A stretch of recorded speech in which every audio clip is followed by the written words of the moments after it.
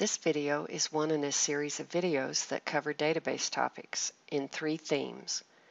We look at Oracle Apex, Application Express for web applications, relational database concepts for designing and building databases, and SQL, the programming language for working with a relational database.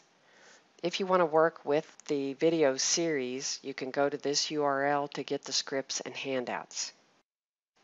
This database video goes along with Apex 09. In Apex 09, we looked at adding data to static and dynamic LOVs, lists of values. But we also did some cleanup where we had a column called primary color that had data typed in in lowercase, text where the first letter is capitalized or all uppercase.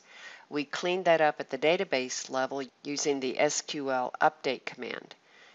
Then we went into the form and added a computation. Let's go ahead and switch over to that because I'm trying to emphasize what happens at the database level versus what you can show in a form or a report.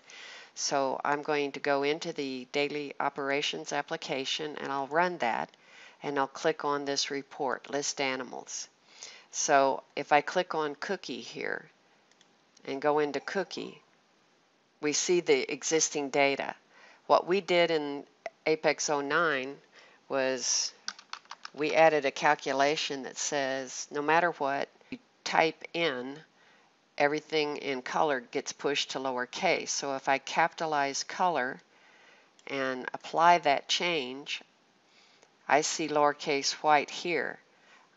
I also come out here to SQL Developer where, where I have a direct connection to the database and I could run this query, select animal ID, name, dominant breed ID, and primary color from animals where dom breed ID equals 4. 4 is for Chihuahua. That's the type of dog Cookie is. So if I run this, then I see Cookie here with her ID, her name, and the color is white. Coming back to the form, I see that when I, when I bounce back, from the form to the report.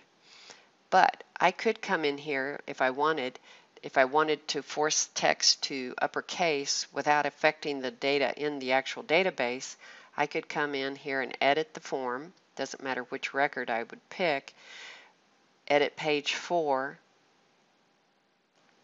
then I'm going to click on name over on the left hand side, p4 underscore name.